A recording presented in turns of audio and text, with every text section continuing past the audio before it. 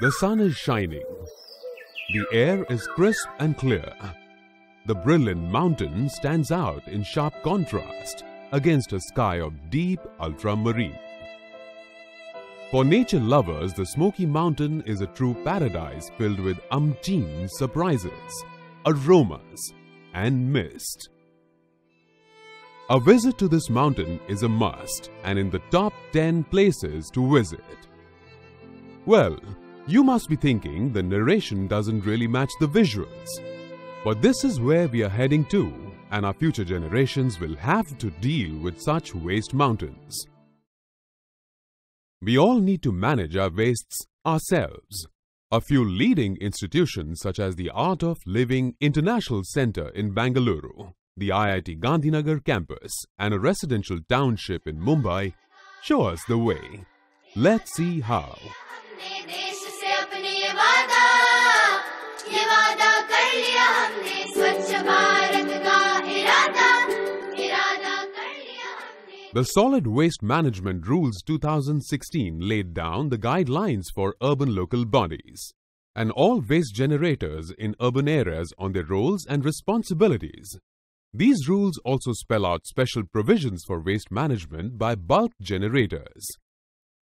Bulk generators are typically those that produce more than 100 kg of waste per day. This could include schools, residential societies, educational institutes, hostels, hotels, marketplaces, or places of worship. These institutions are the key economic drivers in the city. These campuses are also one of the major contributors of solid waste in the city. A large portion of waste from such campuses comes from their kitchens and is mostly biodegradable. The Municipal Solid Waste Rules 2016 state that institutions and gated communities with an area of more than 5000 square meter should process their biodegradable waste at the source using composting or biomethanation techniques as much as possible. We take the case of three such decentralized waste processing units. The first such campus is a spiritual center, the Art of Living International Center in Bangalore, which uses the biomethanation plant made by GPS Renewables Private Limited. The second campus is one of the premier educational institutes in the country, IIT Gandhinagar, that uses the Nisargun technology to convert their kitchen waste to fuel. And the third is a residential society located in dense Mumbai that composts its waste on the rooftops.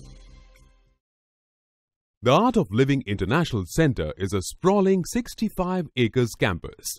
It has a 10,000 square meter kitchen with 40,000 square feet dining area. This generates about 1500 kg of food waste at the ashram every day.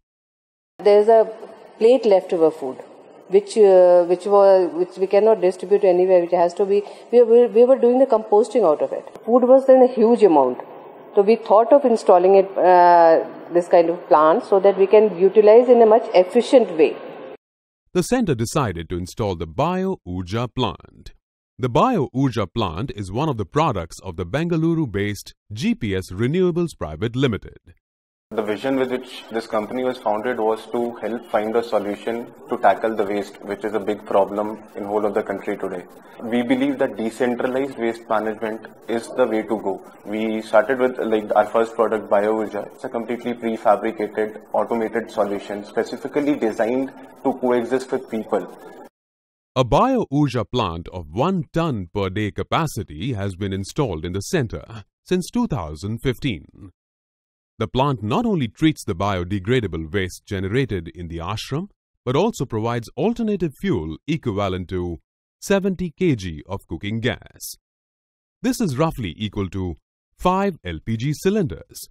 This plant of 1 ton per day capacity is housed in a very small space of 20 square meters.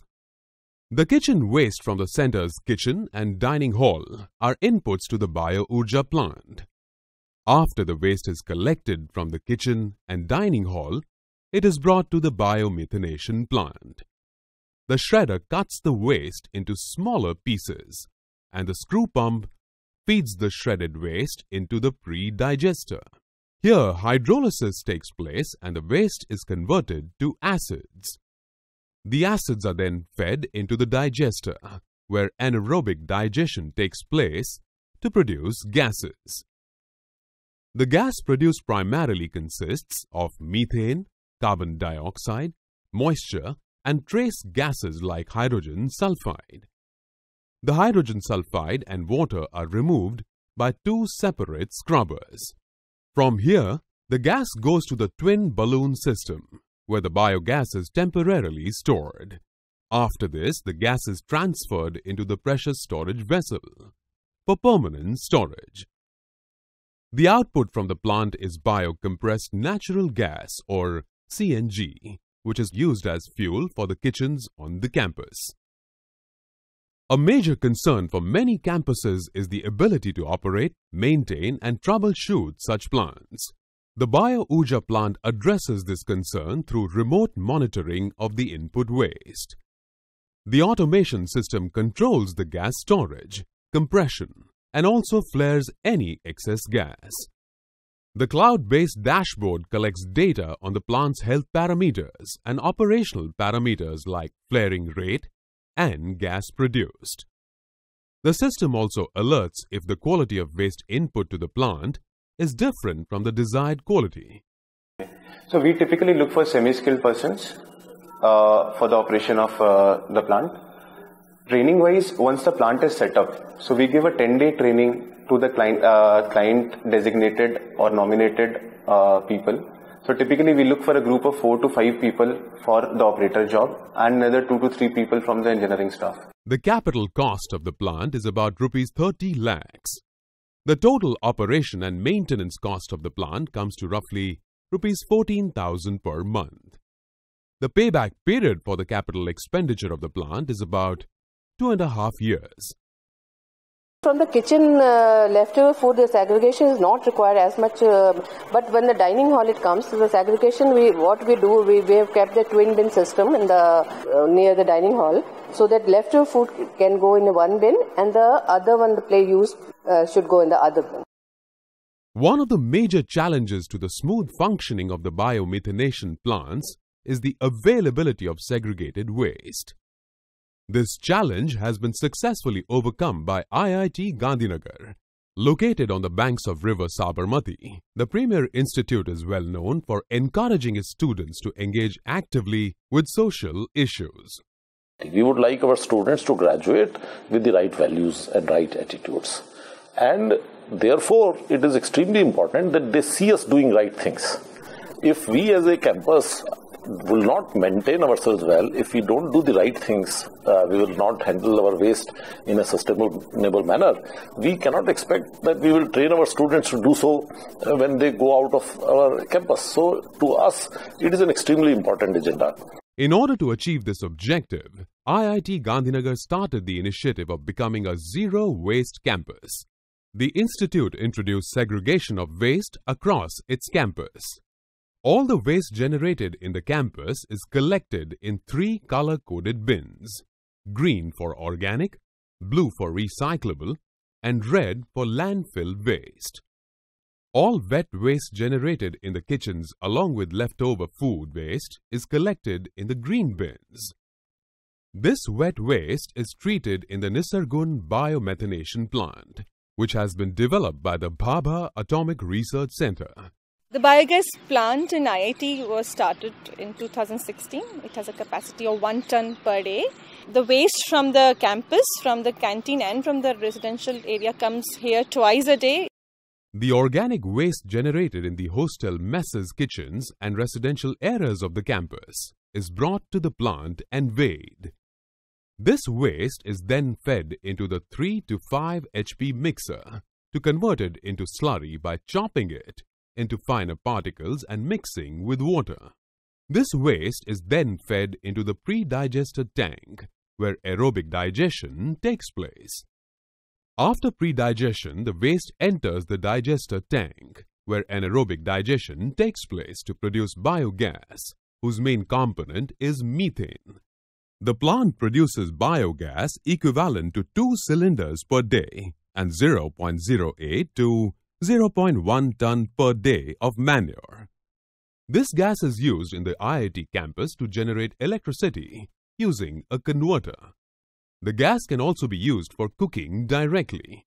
The plant requires a space of about 80 square meters. The installation cost of a 1 ton per day Nisargun plant is rupees 21 lakhs, while the running cost of the plant is rupees 2.1 lakhs per year. From the management point of view, it has been uh, interesting to see that uh, although uh, although it is fairly easy at a resident level, uh, but you have to put in a lot of extra time to make sure that the residents are all on board uh, with your policies, uh, that you uh, sensitize the community, that you communicate with the community on a regular basis. That has been uh, a very important aspect of uh, learning about waste management. Continuous communication also has to be accompanied by regular audits to ensure that the segregation is continuously carried out by the campus. On the whole, my impression is that about 80% of the solid waste that the campus generates, we are able to manage it inside. The story does not end here. When a important visitor comes to the, our institute, and when they see some of these practices, when they see what we are doing, they realize that we are a different institution. They realize that we are serious. They realize that we uh, mean what we speak. They realize that we walk our talk. And as a result of that, their image of us, their impression of us improves they go and talk nice things about the institute, which helps us attract better faculty, which attracts us, uh, which helps us attract better PhD students, uh, which helps us attract more funding for our research. So I would say while the uh, right things for uh, waste management can be helpful uh, by itself, uh, because it is the right thing to do, but it also helps in our teaching and in our research. Other than such large-scale campuses, waste processing at decentralized level can also be done by housing societies in the city through composting. This concept is already being used by the Vijay Nagar Society located in Mumbai. Under the zero garbage project, initially we just decided to segregate the wet garbage and dry garbage.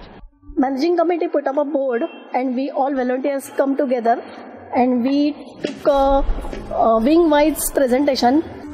We give them pamphlets, we give them uh, uh, dustbin, So compost pits were constructed.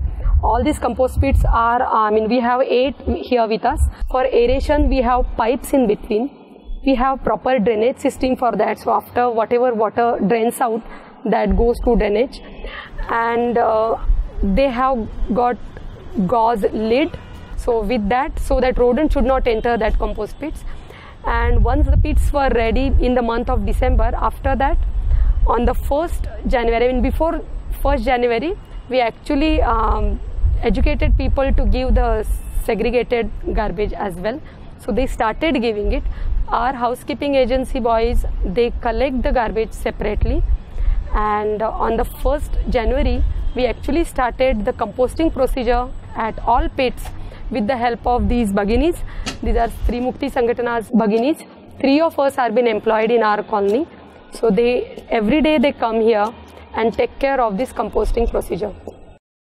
The apartment incurs an additional cost of rupees 26,000 per month on salary of the Bhaginis and around rupees 5,000 for materials over 6 months. Additionally, a maintenance cost of rupees 5,000 is also incurred per month. These campuses show that implementing segregation at source and investing in wet waste processing technology can help in diverting bulk of food waste from going to landfills. The Bio Urja, Nisargun plant, composting, thus are good examples of closed loop systems. Such decentralized treatment helps the ULB save on transportation costs, reduce the burden on landfill sites, and will also help in energy generation. These technologies provide an easy solution for bulk generators to manage their wet waste at source and reduce their carbon footprint. This can easily help bulk generators comply with the MSW Rules 2016 and contribute to the Swachh Bharat mission. We must realize that we are part of the problem. We all create waste and it is our responsibility to manage our waste. It is only when each of us does our part for managing waste will India truly become Swachh Bharat.